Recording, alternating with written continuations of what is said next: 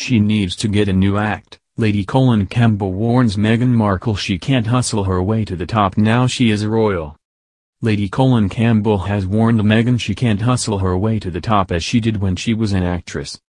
The royal biographer, 69, says she is rooting for the Duchess, but has an awful feeling about her future if she doesn't change her ways. She told Good Morning Britain Meghan, 38, needs to differentiate between how to behave as a celebrity and a member of the royal family. Lady Colin said, I have an awful feeling that Meghan needs to understand things she doesn't yet understand. Like there is a massive difference between being a celebrity, hustling your way from the bottom to the top, and she was a very proud hustler.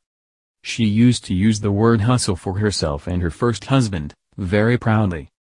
Being a royal, you don't hustle, the values, embodiment is completely different, she's sorted, she's got it, I think she needs to now embrace it and understand it's a new game in town.